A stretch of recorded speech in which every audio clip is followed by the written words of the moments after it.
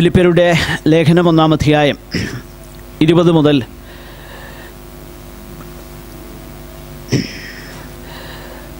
ഇരുപത് ഇരുപത്തിയൊന്ന് വാക്യങ്ങൾ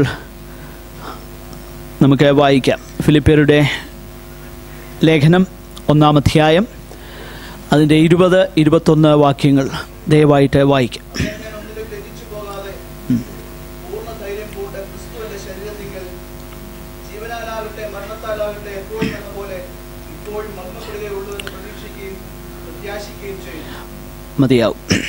സ്തോത്രം. ലോകത്തിലുള്ള അനേക തത്വസംഹിതകളുണ്ട്. അനേക ആശയങ്ങളുണ്ട്. അനേക വിശ്വാസങ്ങളുണ്ട്. അനവധി പ്രസ്ഥാനങ്ങളുണ്ട്. വിവിധ നിലകളിലുള്ളതാകുന്ന സംഘടനകളുണ്ട്. എന്നാൽ ഈ പ്രത്യേക ശാസ്ത്രങ്ങളും സംഘടനകളും വിശ്വാസങ്ങളുമൊക്കെ ഈ ഭൂമിയിൽ ഒരു വ്യക്തി ആരോഗ്യത്തോടെ സൗഖ്യത്തോടെ ആ വിശ്വാസത്തിന് വേണ്ടി നിലനിൽക്കുമ്പോൾ മാത്രമേ അതിന് പ്രയോജനമുള്ളൂ.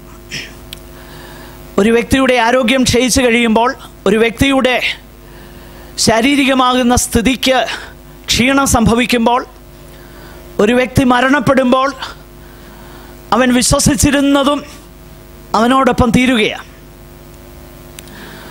മരണത്തിന് എതിരെ പിടിച്ചു നിൽക്കുവാൻ ഈ ലോകത്തിൽ യാതൊരു തത്വസംഹിതകളുമില്ല. ബലഹീനനായി രോഗക്കിടക്കയിലായി ഒരു വ്യക്തി ആയിരിക്കുമ്പോൾ ആ അവസ്ഥയിൽ അവനെ സസ്റ്റെയിൻ ചെയ്യുവാൻ നിലനിർത്തുവാൻ ഈ ലോകത്തിലെ യാതൊന്നിനും കഴിയത്തില്ല. അങ്ങനെ ഒരു അവസ്ഥയോടുകൂടെ അതിന്റെ എല്ലാം ഫലം അവസാനിക്കുകയാണ്. എന്നാൽ ക്രിസ്തീയ വിശ്വാസത്തിന്റെ ക്രിസ്തീയ മാർഗത്തിന്റെ മാത്രം സവിശേഷതയാണ് പൗലോസ് ഇവിടെ പറയുന്ന വാക്കുകൾ. ലോകത്തിൽ ഒരു തത്വസംഹിതയ്ക്കും ഒരു പ്രത്യയ ശാസ്ത്രത്തിനും യാതൊരു വിധത്തിലുള്ള ആശയങ്ങൾക്കും അവകാശപ്പെടുവാൻ കഴിയാത്ത ക്രിസ്തു വിശ്വാസത്തിന് മാത്രം സവിശേഷമായിട്ടുള്ള ഒരു ഗുണമാണ് ജീവിക്കുന്നെങ്കിലും നേട്ടം മരിച്ചാലും നേട്ടം. ജീവനോടിരുന്നാലും അത് നേട്ടമാണ് അല്ല മരിച്ചാലും നേട്ടമാണ്. ആരോഗ്യത്തോടിരുന്നാലും അത് നേട്ടമാണ് അല്ല രോഗക്കിടക്കയിലായാൽ പോലും അത് നേട്ടമാണ് സ്വാതന്ത്ര്യത്തിലിരിക്കുമ്പോഴും അത് നേട്ടമാ. ബന്ധനത്തിലായാലും അത് നേട്ടമാ. ഇങ്ങനെയൊരു മാർഗം ലോകത്തിലില്ല. ഇങ്ങനെയൊന്ന് മനുഷ്യന്റെ ചിന്തയിലില്ല. ക്രിസ്തു മാർഗത്തിന് മാത്രം അവകാശപ്പെട്ട സവിശേഷമാകുന്ന ഗുണമാണ് ഇംഗ്ലീഷിൽ ഇങ്ങനെ പറയാറുണ്ട് a win win situation life for death for a Christian for a child of God it is a win win situation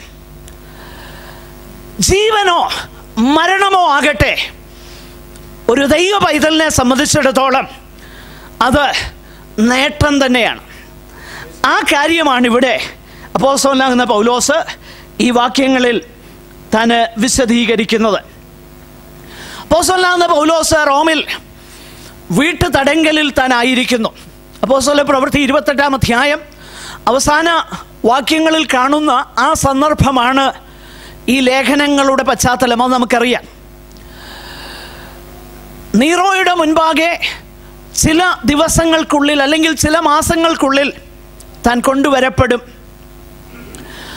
Nero തന്നെ വിസ്തരിക്കും. നീറോ കൈസർ ആണ് അന്ന് റോമിൽ കൈസറായിരിക്കുന്നത് രാജാവായിരിക്കുന്നത് അല്ലെ ചക്രവർത്തിയായിരിക്കുന്നത്. ഒന്നുകിൽ തന്നെ കുറ്റവിമുക്തനാക്കി സ്വതന്ത്രനാക്കും. അല്ലെങ്കിൽ താൻ കുറ്റക്കാരനെന്ന് കണ്ടാൽ നിശ്ചയമായിട്ടും പൗലോസിനെ തനിക്കെതിരെ ചുമത്തിയിരിക്കുന്ന കുറ്റം മരണശിക്ഷയ്ക്ക് അർഹതപ്പെട്ടതായതുകൊണ്ട് താൻ മരിക്കേണ്ടതായിട്ട് വരും. രണ്ട് സാധ്യത മാത്രമേ പൗലോസിന്റെ മുൻപിലുള്ളൂ. ഒന്നുകിൽ തന്നെ സ്വതന്ത്രനാക്കും അല്ലെങ്കിൽ താൻ മരണപ്പെടും.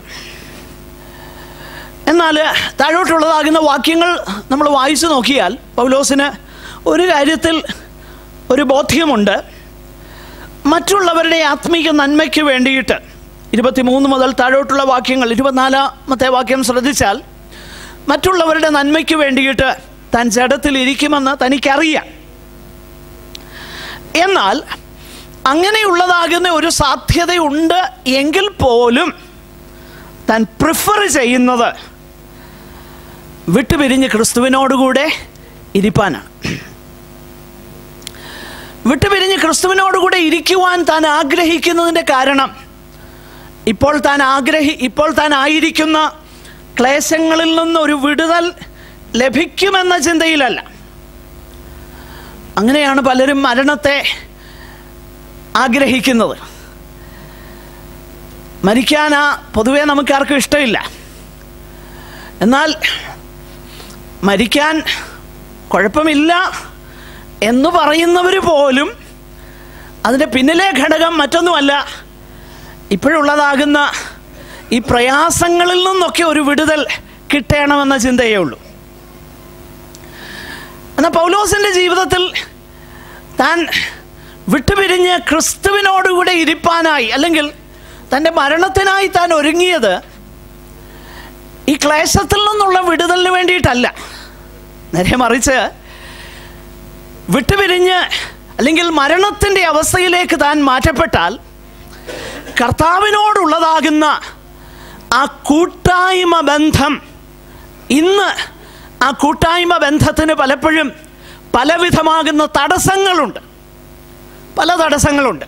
എന്നാൽ തടസ്സങ്ങളില്ലാത്ത ഒരു കൂട്ടായ്മ ബന്ധത്തിലേക്ക് കർത്താവുമായിട്ട് പ്രവേശിപ്പാൻ കഴിയും എന്ന ഒറ്റ ആഗ്രഹത്തിന്റെ അടിസ്ഥാനത്തിലാണ് വിട്ടുപിരിഞ്ഞ് ക്രിസ്തുവിനോടുകൂടെ ഇരിപ്പാൻ എനിക്ക് കാംക്ഷയുണ്ട് അത് അത്യുത്തമമല്ലോ എന്ന് താൻ പറയുന്നത്. അത് തന്റെ വാക്കുകളിൽ നമുക്ക് പല സന്ദർഭങ്ങളിൽ കാണുവാൻ തക്കവണ്ണം കഴിയുന്നുണ്ട്. ഞാൻ പെട്ടെന്ന് നമ്മുടെ ആ വിഷയത്തിലേക്ക് വരുവാൻ തക്കവണ്ണം ആഗ്രഹിക്കുന്നു. നമ്മുടെ സമയത്തിന്റെ പരിമിതിക്കുള്ളിൽ അത് പെട്ടെന്ന് പറയുവാനായിട്ട് കർത്താവിന്റെ കൃപയിൽ ഞാൻ ആശ്രയിക്കുകയാണ്. എന്തുകൊണ്ടാണ് ക്രിസ്തീയ ജീവിതം ഒരു വിൻ വിൻ സിറ്റുവേഷൻ ആയിരിക്കുന്നത് എയ്തർ വേ മരിച്ചാലും ജീവിച്ചാലും ക്ലേശങ്ങൾ വന്നാലും കഷ്ടങ്ങൾ വന്നാലും സുഖം വന്നാലും രോഗം വന്നാലും ആരോഗ്യമാണെങ്കിലും തടവിലാണെങ്കിലും സ്വാതന്ത്ര്യമാണെങ്കിലും ഏത് നിലയിലാണെങ്കിലും ക്രിസ്തീയ ജീവിതം ഒരു നേട്ടമാകുന്നതിന്റെ കാരണം എന്താ? ആ കാരണങ്ങളാണ് ഈ വേദഭാഗത്ത് നമ്മൾക്ക് കാണുവാൻ കഴിയുന്നത്. രണ്ട് കാരണങ്ങളാണ് പൗലോസ് അവിടെ പറയുന്നത്. നമുക്ക് ആ വേദഭാഗം ഒന്ന് ശ്രദ്ധിക്കാം. ഒന്നാമത്തെ കാരണം താൻ പറയുകയാണ് ഇരുപതാം വാക്യം. ക്രിസ്തു എന്റെ ശരീരത്തിങ്കിൽ ജീവനാലാകട്ടെ മരണത്താലാകട്ടെ മഹിമപ്പെടുകയുള്ളൂ. ഒന്നാമത്തെ കാരണമായിട്ട് ജീവനോ മരണമോ ഒരു ദൈവ പൈതലിന് നേട്ടമായിരിക്കുന്നതിന് കാരണമായി പൗലോസ് പറയുന്നത് ഒരു ദൈവ പൈതലിന്റെ ജീവിതത്തെ സംബന്ധിച്ചിടത്തോളം ക്രിസ്തു അവനിൽ മഹിമപ്പെടുകയുള്ളൂ അല്ലെങ്കിൽ മഹിമപ്പെടേണം. ആർക്കാണ് ക്രിസ്തീയ ജീവിതം നേട്ടമാകുന്നത്? ആർക്കാണ് മരിച്ചാലും ജീവിച്ചാലും ക്രിസ്തീയ ജീവിതം എന്നുള്ളത് നേട്ടമാകുന്നത് ആർക്കാ? നേട്ടമാകുന്നത് ആർക്കാണെന്നാണ് പൗലോസ് പറയുന്നത്. വളരെ വ്യക്തമാണ് ആ വാക്യങ്ങൾ. Come what may? എനിക്ക് സ്വാതന്ത്ര്യം കിട്ടട്ടെ. ഞാൻ കുറ്റവിമുക്തനായി നീറോയുടെ മുൻപിൽ എന്നെ വിസ്തരിക്കുമ്പോൾ നീറോ എന്നെ സ്വതന്ത്രനാക്കട്ടെ.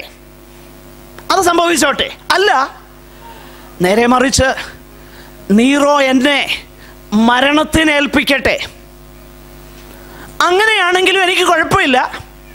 കാരണം മരണത്താലാകട്ടെ ജീവനാലാകട്ടെ. ക്രിസ്തു എന്നിൽ മഹിമപ്പെടുകയുള്ളൂ.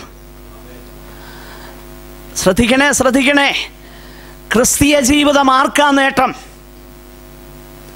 ജീവനോടിരുന്ന് ദൈവനാമ മഹിമയ്ക്കായി ജീവിപ്പാൻ കഴിയുന്ന ഒരു വിശുദ്ധന് ജീവനും മരണവും. അവന് നേട്ടമാണ് കാരണം ജീവനിലും മരണത്തിലും അവന്റെ ജീവിതത്തിൽ ഒന്നേ സംഭവിക്കുന്നുള്ളൂ. ക്രിസ്തു മഹിമപ്പെടുകയാണ് ഇന്നത്തെ തിയോളജി അനുസരിച്ച് മരണം ഒരു ട്രാജഡിയാണ് ഞാൻ ഇതിനു മുൻപ് ഇവിടെ പറഞ്ഞിട്ടുണ്ട്. ആയിരത്തി തൊള്ളായിരത്തി അൻപതുകളിൽ ഇക്കഡോറിൽ സൗത്ത് അമേരിക്കയിൽ ലാറ്റിൻ അമേരിക്കയിൽ കർത്താവിന്റെ സാക്ഷ്യം വഹിപ്പാൻ നരഭോജികളുടെ ഇടയിൽ കടന്നുപോയ അഞ്ച് സഹോദരന്മാരുണ്ട്. ക്രിസ്തീയ സഹോദരന്മാർ. ജിം എലിയറ്റ് നേറ്റ് സെയിന്റ് തുടങ്ങിയ ആ വിശുദ്ധന്മാർ. അവർ അവിടെ കടന്നുപോയി. അവർക്ക് വലിയ കോണ്ടാക്റ്റ് ഒന്നും വലിയ ഒരു ബ്രേക്ക് ത്രൂ ഒന്നും അവർക്ക് കിട്ടിയില്ല. അതിനു മുൻപേ ആ കിരാതന്മാരാകുന്ന ആൾക്കാർ അവർക്ക് ഈ സിവിലൈസ്ഡ് വേൾഡിൽ നിന്ന് അല്ലെങ്കിൽ സംസ്കാരമുള്ള രാജ്യത്തു നിന്ന് വരുന്നവരോട് അവർക്ക് അവരെ ഉപദ്രവിക്കാൻ വരുന്നവർ എന്നൊരു ധാരണ അവരുടെ ഉള്ളിൽ എങ്ങനെയുണ്ട്? അതിനു മുൻപുള്ള അങ്ങനെയുള്ള അനുഭവങ്ങൾ അവർക്കുള്ളത് കൊണ്ടാണ് അതുകൊണ്ട് ഇവരും അങ്ങനെയുള്ളവരായിരിക്കുമെന്ന് കരുതി. അവരെ വഞ്ചനാപൂർവം അവരിലേക്ക് ആകർഷിച്ചിട്ട് ഈ അഞ്ച് മിഷണറിമാരെ കുന്തം കൊണ്ട് കുത്തിക്കൊന്നു. ആയിരത്തി തൊള്ളായിരത്തി അൻപത്തി അഞ്ചിൽ അധിക കാലങ്ങളായിട്ടില്ല. ആയിരത്തി തൊള്ളായിരത്തി അൻപത്തി അഞ്ചിൽ സംഭവിച്ച കാര്യം. അതിനെക്കുറിച്ച് മനോഹരമാകുന്ന ഒരു പുസ്തകമുണ്ട്. ഇംഗ്ലീഷിൽ പല പുസ്തകങ്ങളുണ്ട്. അതിലൊരു പുസ്തകം through the gates of splendour എന്ന. മലയാളത്തിൽ അത് ട്രാൻസ്ലേറ്റ് ചെയ്തപ്പോൾ ഞാൻ ഒരിക്കൽ നിങ്ങളോട് അത് പറഞ്ഞതാണ് എങ്കിലും ആവർത്തിക്കുന്നതിൽ ദയവായി ക്ഷമിക്കുക. ഈ സന്ദർഭവുമായി ചേർന്നതുകൊണ്ട് ഞാനങ്ങ് പറയുക.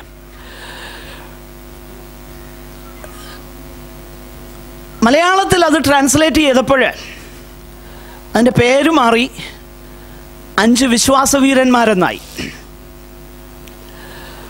അതിന്റെ ഡെഡിക്കേഷൻ പേജിൽ പറഞ്ഞേക്കുന്നത് എന്താണെന്നറിയോ?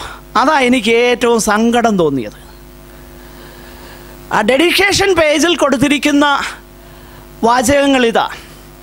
ഇക്കഡോറിൽ പോയി ക്രിസ്തുവിന്റെ രക്തസാക്ഷികളായി തീർന്ന അഞ്ച് മിഷണറിമാരുടെ ദുരന്തകഥ. അഞ്ച് മിഷണറിമാരുടെ ദുരന്തകഥ. അതിന് മുകളിൽ എഴുതിയതാ രക്തസാക്ഷികളായ മിഷണറിമാരുടെ ദുരന്തകഥ.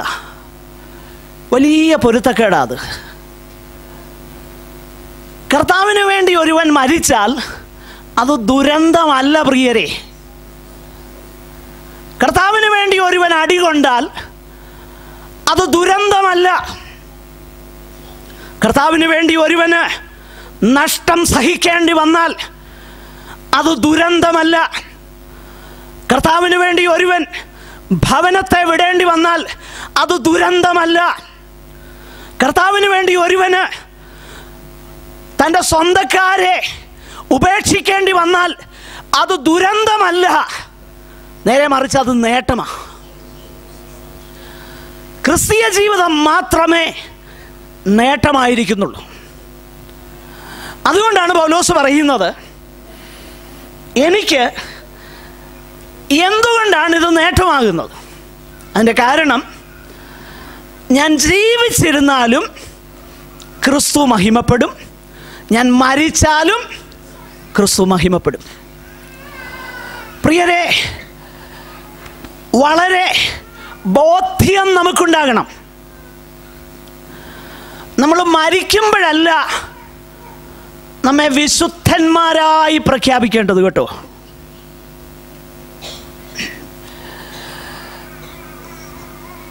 എബ്രായ ലേഖനം പതിനൊന്നാം അധ്യായം. എടുത്ത് വായിക്കണ്ട. നമുക്കറിയാവുന്ന ഒരു വാക്യം ഞാൻ കാണാതെ പറയാം. അഞ്ചാം വാക്യത്തിൽ ഇങ്ങനെയാ. വിശ്വാസത്താൽ ഹാനോക്ക് മരണം കാണാതെ എടുക്കപ്പെട്ടു. എന്നിട്ട് അതിന്റെ താഴെ എഴുതിയേക്കുന്നത് അവൻ ദൈവത്തെ പ്രസാദിപ്പിച്ചു എന്ന് എപ്പോഴാ സാക്ഷ്യം പ്രാപിച്ചേ? എടുക്കപ്പെടുന്നതിന് മുൻപാ. എന്ന് വെച്ചാൽ മരിക്കുന്നതിന് മുൻപാ. പൗലോസ്ലീഹ പറഞ്ഞ ഒരു വാക്ക് ഇന്ന് മരിച്ചു കഴിയുമ്പം എഴുതാനായിട്ട് മാത്രം മാറ്റി വെച്ചേക്കുക മരിച്ചു കഴിയുമ്പം ഫ്ലയേഴ്സിനകത്ത് അടിക്കാനായിട്ട് മാത്രമുള്ളൊരു വാക്യ. ഞാൻ നല്ല പോർ പൊരുതു ഓട്ടം തികച്ചു വിശ്വാസം കാത്തു. ഇത് മരിച്ച ശേഷമല്ല എഴുതിയത്. ജീവനോടിരുന്നപ്പോഴാണ് പറഞ്ഞേ. ജീവനോടിരുന്നപ്പോഴാണ് മരിച്ചപ്പോഴല്ല. ജീവനോടിരിക്കുമ്പോൾ നല്ല ബോധമുള്ളപ്പോൾ നല്ല തിരിച്ചറിവുള്ളപ്പോൾ മരണം എന്നാന്ന് അറിയത്തില്ലല്ലോ. കുറച്ചു കാലം കഴിഞ്ഞിട്ടല്ല ഇന്ന് നമുക്ക് പറയാൻ കഴിയണം. ഞാൻ ജീവിച്ചാലും മരിച്ചാലും ക്രിസ്തു എന്നിൽ മഹിമപ്പെടുകയുള്ളൂ. ആർക്കാ നേട്ടം? ജീവിച്ചാലും മരിച്ചാലും ക്രിസ്തു എന്നിൽ മഹിമപ്പെടും എന്ന് ദൈവകൃപയിൽ ആശ്രയിച്ച് പറയാൻ കഴിയുന്ന ഒരു ദൈവവൈതലിന് ക്രിസ്തീയ ജീവിതം നേട്ടം അല്ലാത്തവർക്കല്ല. അല്ലാത്തവർക്ക് എങ്ങനെ ആകുന്നേ? കാരണം നേട്ടമാകുന്നതിന്റെ അടിസ്ഥാന കാരണം ഞാൻ ജീവനാലാകട്ടെ ആകട്ടെ മരണത്താലാകട്ടെ ക്രിസ്തു എന്നിൽ മഹിമപ്പെടുകയുള്ളൂ. ഞാൻ ആ വാക്യഭാഗം വളരെയധികം വിശദീകരിപ്പാൻ നമുക്ക് സമയമില്ലെങ്കിലും ചില കാര്യങ്ങളോട് അതിനോടുള്ള ബന്ധത്തിൽ പറയട്ടെ. ഇവിടെ പൗലോസ് പറയുന്ന ആ വാക്കുകൾ അതിന്റെ പശ്ചാത്തലത്തിൽ നമുക്ക് കാണുവാൻ തക്കവണ്ണം കഴിയുന്നുണ്ട്. അതിന്റെ പത്തൊൻപതാമത്തെ വാക്യം നമ്മൾ ചേർത്ത് വായിച്ച് നോക്കിക്കഴിഞ്ഞാൽ പൗലോസ് പറയുന്നുണ്ട് പതിനെട്ടാമത്തെ വാക്യത്തിന്റെ അവസാനവും പത്തൊൻപതാം വാക്യവും കൂടെ ചേർത്ത് വായിച്ചാൽ പൗലോസ് പറയുന്നു ചിലര് നാട്യമായിട്ട് കർത്താവിനെ പ്രസംഗിക്കുന്നു. പക്ഷെങ്കിൽ നാട്യമായിട്ടാകട്ടെ പരമാർത്ഥമായിട്ടാകട്ടെ ക്രിസ്തുവിനെ അല്ലയോ പ്രസംഗിക്കുന്നത് ആകയാൽ ഞാൻ സന്തോഷിക്കും. എന്നിട്ട് താൻ പറയുകയാണ് ഞാൻ ഇനിയും സന്തോഷിക്കും. പത്തൊൻപതാം വാക്യം നിങ്ങളുടെ പ്രാർത്ഥനയാലും യേശുക്രിസ്തുവിന്റെ ആത്മാവിന്റെ സഹായത്താലും അത് എനിക്ക് രക്ഷാകാരണമായി തീരുമെന്ന് ഞാൻ അറിയുന്നു. അതായത് എനിക്ക് ഉപദ്രവം ഉണ്ടാക്കുവാൻ ചിലർ പ്രസംഗിക്കുന്നു എന്നെനിക്കറിയാം. പക്ഷേ ഞാൻ സന്തോഷിക്കുക. ഞാൻ ഇനിയും സന്തോഷിക്കും ക്രിസ്തു പ്രസംഗിക്കപ്പെടുന്നതിനാൽ. എന്നിട്ട് പറയുകയാണ് അത് വിശദീകരിക്കുകയാണ് അത് നിങ്ങളുടെ പ്രാർത്ഥനയാലും പരിശുദ്ധാത്മാവിന്റെ സഹായത്താലും എനിക്ക് രക്ഷാകാരണമായി തീരും. എന്താണ് ഈ രക്ഷാകാരണമായി തീരുമെന്ന് പോലോസ് പറയുന്നത്? അത് മനസ്സിലാക്കണമെങ്കിൽ ഇരുപതാമത്തെ വാക്യത്തിലേക്ക് വരുമ്പോഴാണ് നമുക്ക് മനസ്സിലാക്കുവാൻ കഴിയുന്നത്. വാസ്തവത്തിൽ പൗലോസിന്റെ ഏറ്റവും വലിയ ചിന്ത എന്താ? പൗലോസിന്റെ ചിന്ത മറ്റൊന്നുമല്ല. താൻ പറയുന്നത് മരിച്ചാലും ജീവിച്ചാലും ക്രിസ്തു മഹിമപ്പെടണം. ഇതാണ് തന്റെ ചിന്ത. അപ്പോൾ എന്റെ ജീവിതത്തിൽ സംഭവിക്കുന്ന മറ്റുള്ളവർ എനിക്കെതിരെ ദോഷം വരുത്തുവാൻ ആഗ്രഹിക്കുന്ന കാര്യങ്ങൾ പോലും എനിക്ക് രക്ഷാകാരണമായി തീരും. എന്താണ് ആ രക്ഷാകാരണം? പൗലോസിന് ഒരു ചിന്തയേ ഉള്ളൂ മനസ്സിൽ. പൗലോസിന്റെ ചിന്ത ക്രിസ്തു മഹിമപ്പെടണമെന്ന്. അങ്ങനെയെങ്കിൽ പൗലോസ് ഉദ്ദേശിക്കുന്ന തന്റെ ഏറ്റവും അനുഗ്രഹീതമാകുന്ന നന്മ എന്താ? ക്രിസ്തു മഹിമപ്പെടുകയാണ്. മനസ്സിലാക്കണേ? പ്രിയരെ ഈ ജീവിതത്തിൽ ഈ ജീവിതത്തിൽ ജീവനോടിരിക്കുമ്പോൾ നമുക്ക് ലഭിക്കാവുന്നതിൽ ഏറ്റവും വലിയ നന്മ എന്താ? ഈ ലോകത്തിലെ നേട്ടങ്ങളല്ല. ഈ ലോകത്തിലെ സ്ഥാനമാനങ്ങളല്ല. ഈ ലോകത്തിലെ അധികാരങ്ങളല്ല.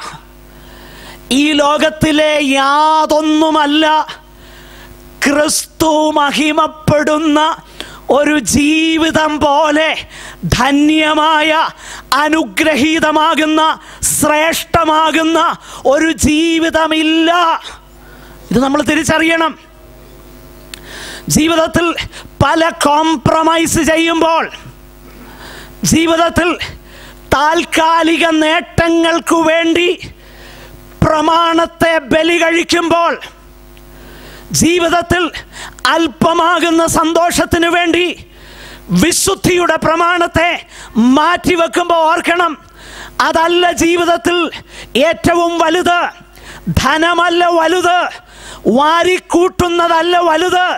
കൂട്ടിവെക്കുന്നതല്ല വലുത്.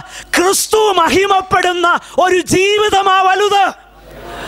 അതാ വലുത്. അതി കുറഞ്ഞ ഒന്നല്ല വലുത്. എന്റെ പ്രിയരെ ഞാൻ ഗൾഫിലുള്ള വിശുദ്ധന്മാരോടാ പ്രസംഗിക്കുന്നതെന്ന് എനിക്കറിയാം. പക്ഷേ ഓർക്കുക ലോകത്തിലെ ഒന്നുമല്ല വലുത് ക്രിസ്തു മഹിമപ്പെടുന്നതാ വലുത്. ഇത് പൗലോസിന് നന്നായിട്ട് തിരിച്ചറിവുണ്ട്. താന്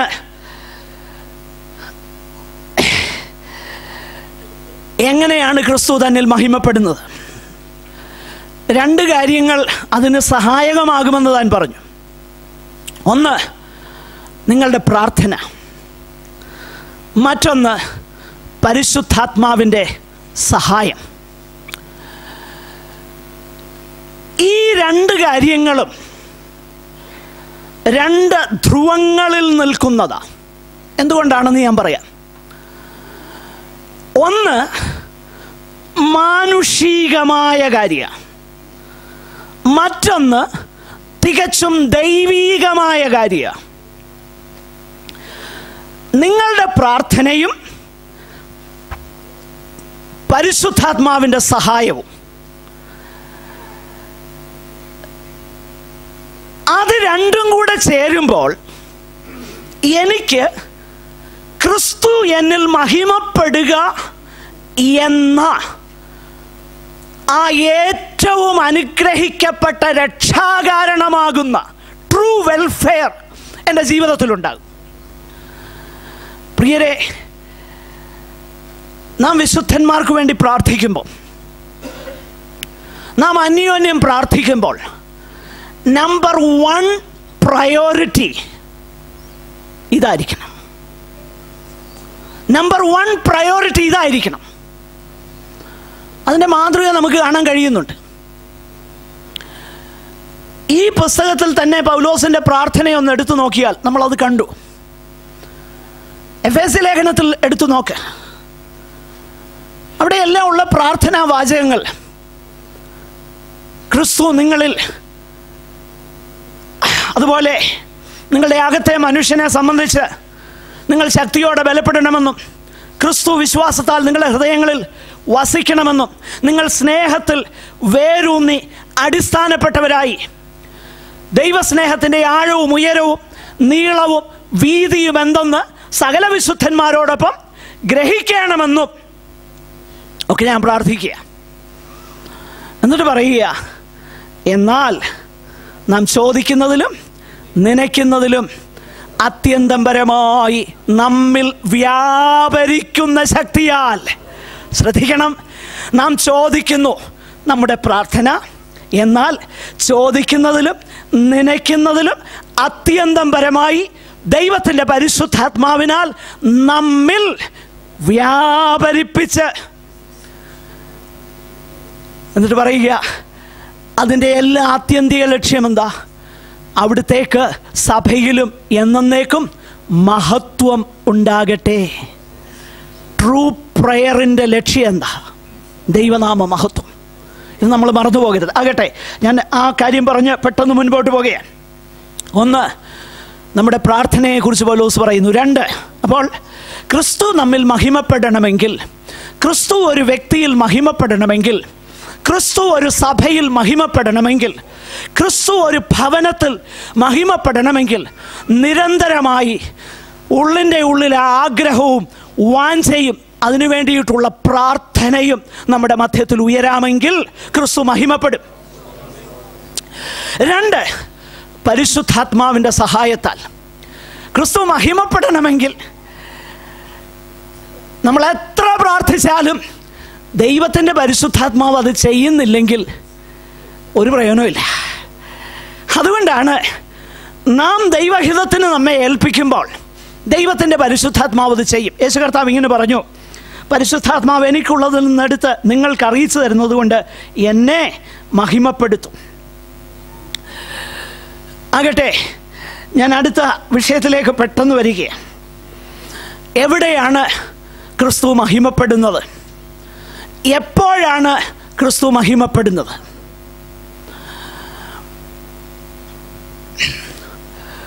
പലർക്കും നമുക്കിൽ പലർക്കും ക്രിസ്തു മഹിമപ്പെടണമെങ്കിൽ ചിലപ്പോഴൊക്കെ ഒരു പ്രത്യേക ഉപവാസ പ്രാർത്ഥനയും ഒരു ഇയർ എൻഡിങ്ങും ഒക്കെ വേണം. അന്നേരമൊക്കെ ക്രിസ്തു മഹിമപ്പെടും. ചിലർക്കൊക്കെ ക്രിസ്തു മഹിമപ്പെടുന്നത് എപ്പോഴാന്ന് ചോദിച്ചു കഴിഞ്ഞാൽ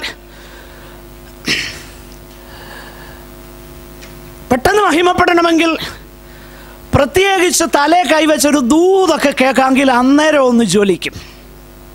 പിന്നെ തീരും. പിന്നെ വല്ല ഒരു ക്രൂസൈഡൊക്കെ നടക്കാമെങ്കിൽ അതിന്റെ ഒരു ഹാങ് ഓവർ ചിലപ്പോൾ ഒരാഴ്ച വരെയൊക്കെ നിൽക്കും. അതിന്റെ ചൊവ അങ്ങനെയൊക്കെയാണ് പലരുടെ ജീവിതത്തിലും ക്രിസ്തു മഹിമപ്പെടുന്നത്. എന്നവർ ധരിക്കുന്നത് എന്നാൽ പൗലോസ് പറയുന്നത്? അങ്ങനെയല്ല. ക്രിസ്തു എപ്പോഴും എന്ന പോലെ ഇപ്പോഴും മഹിമപ്പെടുകയുള്ളൂ. ക്രിസ്തുവിന്റെ മഹിമ എന്റെ ജീവിതത്തിൽ ചില സമയങ്ങളിലല്ല. ഒരു ഉപവാസ പ്രാർത്ഥന വരുമ്പോഴല്ല. ഒരു ഉണർവിയോഗം നടക്കുമ്പോഴല്ല. ഒരു പ്രത്യേക വരപ്രാപ്തൻ വരുമ്പോഴല്ല. ഇപ്പോഴും എല്ലായ്പ്പോഴും. മറ്റൊന്ന് ക്രിസ്തു മഹിമപ്പെടുന്നത് എവിടാ? എന്റെ ശരീരത്തിലാ. ക്രിസ്തു മഹിമപ്പെടുവാനുള്ള വെഹിക്കിൾസ് എന്റെ ശരീരമാണ് എന്റെ കയ്യ് എന്റെ കണ്ണ് എന്റെ വായ എന്റെ കാലുകൾ എന്റെ ശരീരത്തിന്റെ അവയവങ്ങളൊക്കെ ക്രിസ്തു മഹിമപ്പെടാനുള്ളതാണ്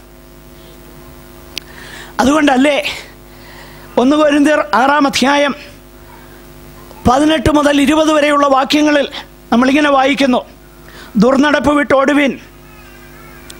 മനുഷ്യൻ ചെയ്യുന്ന ഏത് പാദവും പാപവും ശരീരത്തിന് പുറത്താകുന്നു. ദുർനടപ്പുകാരനോ സ്വന്തം ശരീരത്തിന് വിരോധമായി പാപം ചെയ്യുന്നു. ദൈവത്തിന്റെ ദാനമായി നിങ്ങളിൽ ഇരിക്കുന്ന പരിശുദ്ധാത്മാവിന്റെ മന്ദിരമാകുന്ന നിങ്ങളുടെ ശരീരം എന്നും പരിശുദ്ധാത്മാവിന്റെ മന്ദിരമാകുന്നു.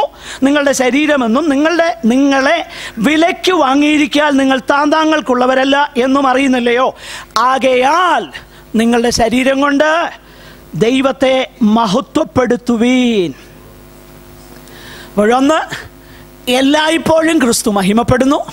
രണ്ട് എന്റെ ശരീരത്തിൽ ക്രിസ്തു മഹിമപ്പെടുന്നു.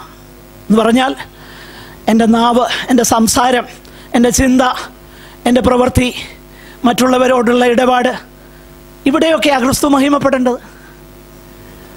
സഭയിലല്ല. സഭയിൽ ക്രിസ്തു മഹിമപ്പെടേണ്ടത് അതിന്റെ ഒരു കവിഞ്ഞൊഴുക്കായിരിക്കണം. നിത്യജീവിതത്തിൽ ക്രിസ്തു മഹിമപ്പെടുന്നതിന്റെ ഒരു പകർച്ചയാകണം സഭായോഗങ്ങളിൽ ദൈവത്തെ മഹത്വപ്പെടുത്തുവാൻ കഴിയുന്നത്. മനസ്സിലാക്കണേ? എന്റെ ശരീരത്തിൽ. പിന്നെ ജീവനാലാകട്ടെ മരണത്താലാകട്ടെ. യോഹന്നാന്റെ സുവിശേഷം ഇരുപത്തൊന്നിന്റെ പത്തൊൻപതിൽ പത്രോസ്ലിഹായെക്കുറിച്ച് കർത്താവ് പറയുന്ന ഒരു പ്രവചനമുണ്ട്. അവൻ ഇന്ന വിധം തന്റെ മരണം കൊണ്ട് ദൈവത്തെ മഹത്വപ്പെടുത്തും എന്ന് അവൻ സൂചിപ്പിച്ചു. എന്നിട്ട് ഇങ്ങനെ പറഞ്ഞു ഇത് പറഞ്ഞിട്ട് എന്നെ അനുഗമിക്കുക എന്ന് അവനോട് പറഞ്ഞു. ആ വാക്യത്തിൽ തന്നെ വളരെ വ്യക്തമാകുന്ന ഒരു സന്ദേശം അവിടെയുണ്ട്. മരണം കൊണ്ട് പത്രോസ് കർത്താവിനെ മഹിമപ്പെടുത്തും. പക്ഷെങ്കിൽ അതിന് മുൻപ് സംഭവിക്കുന്നത് എന്താ എന്നെ അനുഗമിക്കുക. ശ്രദ്ധിക്കണേ.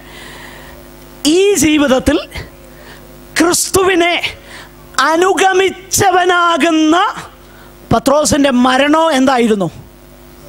ദൈവനാമ മഹത്വമായിരുന്നു അങ്ങനെയാണെങ്കിൽ ഇന്ന് ക്രിസ്തുവിനെ നമ്മുടെ ജീവിതത്തിൽ അനുഗമിക്കുന്ന ഒരാളുടെ ജീവിതത്തിൽ ക്രിസ്തു മഹിമപ്പെടും. അതുകൊണ്ടാണ് ഒരു ക്രിസ്തു ഭക്തന്റെ ജീവിതം മാത്രമല്ല തന്റെ ഭക്തന്മാരുടെ മരണവും യഹോവയ്ക്ക് വിലയേറിയതാകുന്നു. ജീവിതം മാത്രമല്ല മരണവും വിലയേറിയതാണ്. നൂറ്റി പതിനാറാം സങ്കീർത്തനം പതിനഞ്ചാമത്തെ വാക്യം. ആകട്ടെ രണ്ടാമത്തെ കാരണം കൂടെ ഞാൻ പെട്ടെന്ന് പറഞ്ഞ് അവസാനിപ്പിക്കാം. രണ്ടാമത്തെ കാരണം പൗലോസ് പറയുക എനിക്ക് ഇരുപത്തിയൊന്നാമത്തെ വാക്യം എനിക്ക് ജീവിക്കുന്നത് ക്രിസ്തുവും മരിക്കുന്നത് ലാഭവുമാകുന്നു. ജീവിക്കുന്നത് ക്രിസ്തു എന്ന് പറഞ്ഞാൽ എന്താ അർത്ഥം? ഈ ഫിലിപ്പി ലേഖനം തന്നെ നമ്മൾ വായിച്ചു നോക്കിയാൽ ജീവിക്കുന്നത് ക്രിസ്തു എന്താണെന്ന് മനസ്സിലാക്കുവാൻ നമ്മെ സഹായിക്കുന്ന അനേക വാക്യങ്ങളുണ്ട്. നാലിന്റെ പതിമൂന്ന്. എന്നെ ശക്തനാക്കുന്നവൻ മുഖാന്തരം ഞാൻ സകലത്തിനും മതിയാകുന്നു. എന്റെ ജീവിതത്തിലെ സന്തോഷത്തിന്റെയും സമൃദ്ധിയുടെയും സമയങ്ങളും ഇല്ലായ്മയുടെ സമയങ്ങളും തരണം ചെയ്യുവാൻ എനിക്ക് കർത്താവുണ്ട്. എന്നെ ശക്തനാക്കുന്നവൻ മുഖാന്തരം ഞാൻ സകലത്തിനും മതിയാകും രണ്ടാം അധ്യായത്തിലേക്ക് വരുമ്പോൾ ക്രിസ്തുവേശുവിനുള്ള ഭാവം തന്നെ നിങ്ങളിലും ഉണ്ടാകട്ടെ. ക്രിസ്തുവിന്റെ ആ ഭാവം ക്രിസ്തുവിന്റെ ആ സ്വരൂപം എന്റെ ജീവിതത്തിൽ ഉണ്ടാകുന്നതാണ് ക്രിസ്തു എന്നിൽ ജീവിക്കുക എന്ന് പറഞ്ഞാൽ ഞാൻ ക്രിസ്തുവിനാൽ ജീവിക്കുന്നു. എന്നെ ശക്തനാക്കുന്നവൻ മുഖാന്തരം ഞാൻ സകലത്തിനും മതിയാകുന്നു. എന്ന് മാത്രമല്ല ക്രിസ്തുവേശുവിന്റെ ഭാവം എന്നിലേക്ക് വരുന്നു. മൂന്നാം അധ്യായം അതിന്റെ ഒൻപതാമത്തെ വാക്യത്തിൽ ക്രിസ്തുവിന്റെ നീതി എന്റെ നീതിയാകുന്നു. ക്രിസ്തു എന്നിൽ ജീവിക്കുക എന്ന് പറഞ്ഞാൽ ഇതൊക്കെയാണ് അതിന്റെ മൂന്നാം അധ്യായം അതിന്റെ ഒൻപതാമത്തെ വാക്യത്തിൽ. മൂന്നിന്റെ എട്ടിൽ നമ്മൾ വായിക്കുന്നു ക്രിസ്തുവിന്റെ പരിജ്ഞാനത്തിന്റെ ശ്രേഷ്ഠത. ക്രിസ്തുവിനെക്കുറിച്ചുള്ള പരിജ്ഞാനത്തിന്റെ ശ്രേഷ്ഠത. ക്രിസ്തുവിനെ അറിയുക എന്നുള്ളത് ക്രിസ്തു എന്നിൽ ജീവിക്കുന്നതിന് തെളിവാണ്. മൂന്നിന്റെ ഒന്നും നാലിന്റെ ഒന്ന് നാലിന്റെ നാല് കർത്താവിൽ എപ്പോഴും സന്തോഷിപ്പിൻ നോക്കുക ക്രിസ്തു എന്നിൽ ജീവിക്കുന്നു. എന്നെ ശക്തനാക്കുന്നവൻ മുഖാന്തരം ഞാൻ സകലത്തിനും മതിയാകുന്നു. ക്രിസ്തുവിന്റെ ഭാവം എന്നിലുണ്ടാകുന്നു. ക്രിസ്തുവിന്റെ നീതി എന്റേതാകുന്നു. ക്രിസ്തുവിനെ കുറിച്ചുള്ള പരിജ്ഞാനത്തിന്റെ ശ്രേഷ്ഠത നിമിത്തം ഞാൻ സകലതും ചപ്പ് എന്ന് എണ്ണുന്നു. ഞാൻ ക്രിസ്തുവിൽ സന്തോഷിക്കുന്നു. ഇതാ ക്രിസ്തുവിൽ ജീവിക്കുക എന്ന് പറഞ്ഞാൽ അങ്ങനെ ക്രിസ്തുവിൽ ജീവിക്കുന്ന ഒരു ഭക്തനെക്കുറിച്ചാണ് പൗലോസ് ലീഹ ജീവിതമോ മരണമോ നേട്ടമാകുമെന്ന് പറഞ്ഞിരിക്കുന്നു. രണ്ട് കോരിന്തർ അഞ്ചിന്റെ പതിനഞ്ചിൽ നമ്മളിങ്ങനെ വായിക്കുന്നു ജീവിക്കുന്നവർ ഇനി തങ്ങൾക്കായിട്ടല്ല തങ്ങൾക്ക് വേണ്ടി മരിച്ച് ഉയർത്തവനായിട്ട് തന്നെ ജീവിക്കേണ്ടതിന് തന്നെ. ഗലാത്തിയർ രണ്ടിന്റെ ഇരുപത് ഇനി ജീവിക്കുന്നത് ഞാനല്ല ക്രിസ്തു അത്രേ എന്നിൽ ജീവിക്കുന്നത്. ഇപ്പോൾ ഞാൻ ജഡത്തിൽ ജീവിക്കുന്നതോ എന്നെ സ്നേഹിച്ച് എനിക്ക് വേണ്ടി തന്നെ താൻ ഏൽപ്പിച്ച് തന്ന തന്നെ താൻ ഏൽപ്പിച്ചു കൊടുത്ത ദൈവപുത്രങ്കിലുള്ള വിശ്വാസത്താൽ അത്രേ പ്രിയമുള്ളവരെ ഇതാ ക്രിസ്തു ജീവിക്കുക എന്ന് പറഞ്ഞാൽ. ആ വാക്യങ്ങൾ ഓരോന്നും എടുത്തും വിശദീകരിക്കേണ്ടതാണെങ്കിലും സമയമില്ലാത്തതുകൊണ്ട് ഞാൻ പെട്ടെന്ന് അവസാനിപ്പിക്കുക. മരണം എന്ന് പറഞ്ഞാൽ ലാഭമാകുന്നത് എന്താ?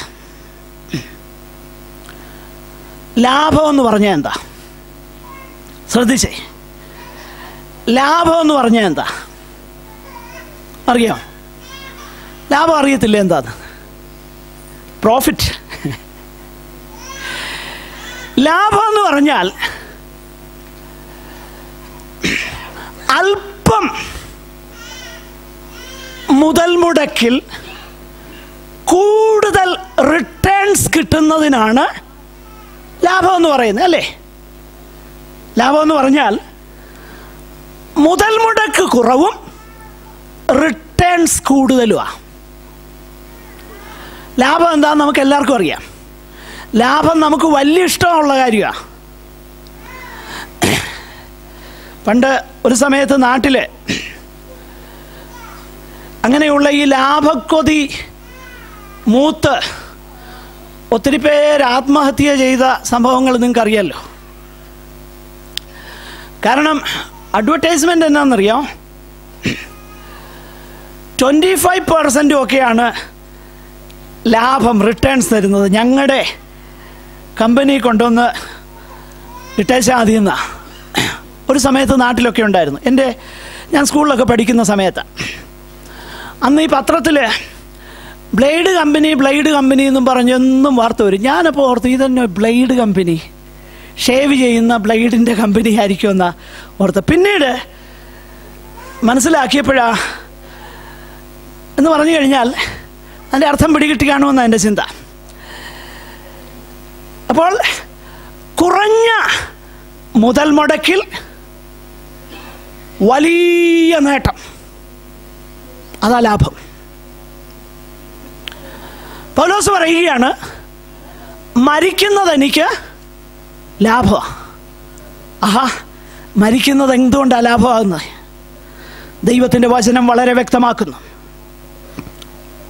അതിന്റെ കാരണം ഒരു കൊച്ചു ജീവിതം കർത്താവിന് വേണ്ടി കൊടുത്ത കൊടുക്കുന്നെങ്കിൽ നേടുന്നത് എന്താണെന്നറിയാമോ നിത്യജീവനാണ്.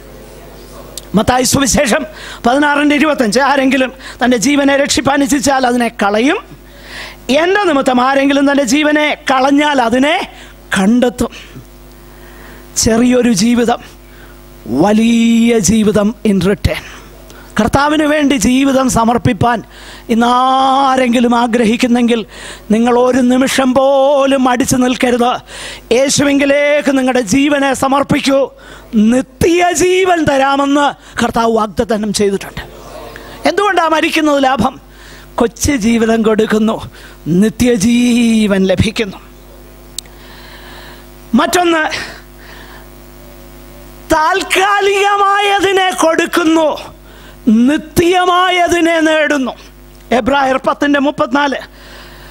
തടവുകാരോട് നിങ്ങൾ സഹതാപം കാണിച്ചതല്ലാതെ സ്വർഗത്തിൽ നിലനിൽക്കുന്ന ഉത്തമ സമ്പത്ത് നിങ്ങൾക്കുണ്ട് എന്നറിഞ്ഞ് സമ്പത്തുകളുടെ അപഹാരവും സന്തോഷത്തോടെ സഹിച്ചുവല്ലോ. എന്തുകൊണ്ട്? സ്വർഗത്തിൽ നിലനിൽക്കുന്ന ഉത്തമ സമ്പത്ത്. പ്രതിഫലം നോക്കിയതുകൊണ്ട് ഭറവോന്റെ പുത്രിയുടെ മകൻ എന്ന് വിളിക്കപ്പെടുന്നതിനേക്കാളും ദൈവജനത്തോടുകൂടെ കഷ്ടം അനുഭവിക്കുന്നത് തെരഞ്ഞെടുത്തു.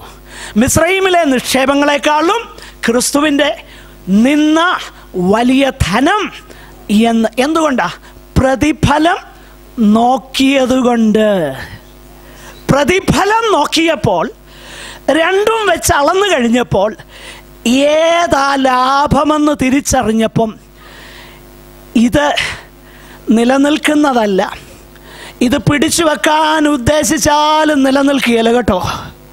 നമ്മൾ നെട്ടോട്ടമോടി ഉണ്ണാതെ തിന്നാതെ ജീവിതത്തിൽ ഓരോ സുഖവും അനുഭവിക്കുക ഞാൻ എന്റെ സഹോദരങ്ങളോട് പറയാനുള്ളത് നിങ്ങൾ ഈ നിങ്ങളുടെ രക്തം വിയർപ്പാക്കിയേച്ച് ഇപ്പം ഷുഗറൊക്കെ പിടിച്ച് അങ്ങ് വല്ലാതാകുന്നതിന് മുൻപേ ഇപ്പം അല്പമൊക്കെ സന്തോഷത്തോടെ ഭാര്യയും ഭർത്താവും കുഞ്ഞുങ്ങളും ഇരുന്ന് സ്വോത്രം ചെയ്ത് നന്നായിട്ട് ആഹാരം കഴിക്കുക കേട്ടോ. ഞാനിത് പറയുമ്പം ഇത് ഇത് ഇത് മുഴുവൻ അങ്ങ് സമ്പാദിച്ചേച്ച് ഒടുവിൽ ഇത് കാണും. അനുഭവിക്കാം. ഒരു ഒരു ഗതിയില്ലാതാകുന്നതിന് മുൻപേ. എന്റെ പ്രിയരെ ഞാൻ സത്യമായി പറയുന്നത് സത്യ പറയുന്നത്. അയ്യോ എന്റെ ചില പ്രിയ സഹോദരങ്ങളുടെ കഷ്ടപ്പാട് കാണുമ്പോൾ എനിക്ക് വലിയ സങ്കടം തോന്നാറുണ്ട്. ഞാൻ ഉദ്ദേശിക്കുന്നത് രണ്ടറ്റം കൂട്ടിമുട്ടിക്കാൻ ബുദ്ധിമുട്ടുള്ളവരുടെ കാര്യമല്ല ഞാനീ പറയുന്നത്.